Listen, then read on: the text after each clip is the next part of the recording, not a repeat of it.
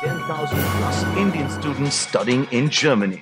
Strong collaboration capabilities in engineering, space, and defense sectors. Germany and India together equals a digital tomorrow. Infineon E-validation.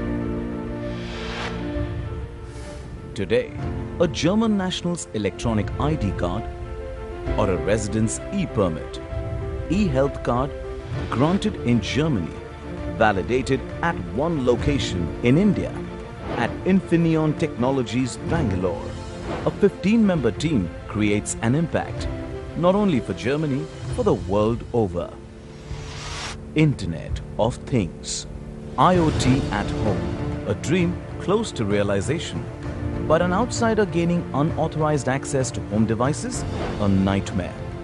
Authenticating every device entering the IoT ecosystem. Is it possible? Yes.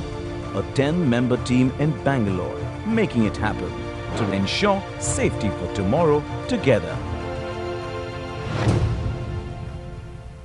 The R&D at Infineon India is carried out in full conformance with the stringent German requirements. Modi ji, Infineon offers the same advanced technology for various Indian government projects and to realize your vision, Make in India, we are actively exploring partnership for chip card production with both public and private sectors. Thank you for your attention.